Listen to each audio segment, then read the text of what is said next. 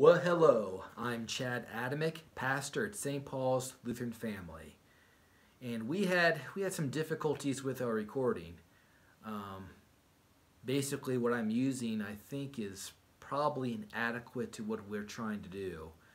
Uh, we had tried to use an iPhone to record the service, um, and then to upload it onto YouTube, but then um, we ran into issues concerning uh, video size.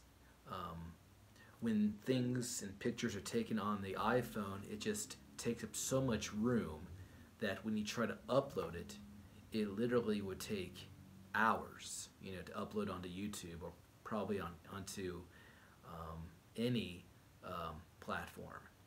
It's also hard to send those files by email and, and the like. So we're going to have to reconsider what we do as far as to continue a sort of worship life together.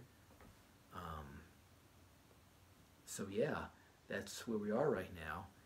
Um, I'll I will be looking into this and exploring what we can do uh, for the foreseeable future. What I think I will be doing is just delivering my uh, my sermon on a video.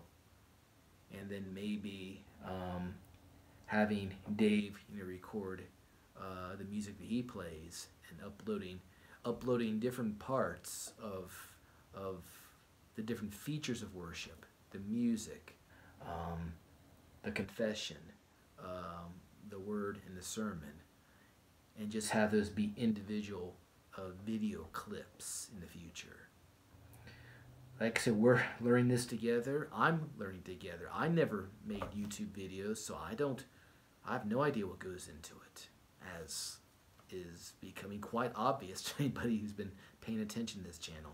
So we'll work it out. We'll get it worked out.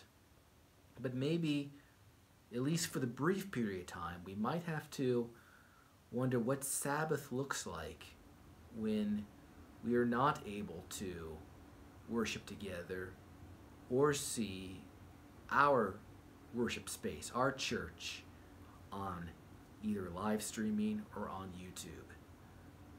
You know, how do we how do we deal with that? How do we still maintain the Sabbath and worship when when we cannot go to church either physically or virtually? So, well, stay tuned. I will get my sermon up in uh, I will record my sermon and get it uploaded. Um, but in the meantime, if you have any suggestions or that, uh, please let me know as far as what what kind of equipment I should we should invest in, um, and so forth.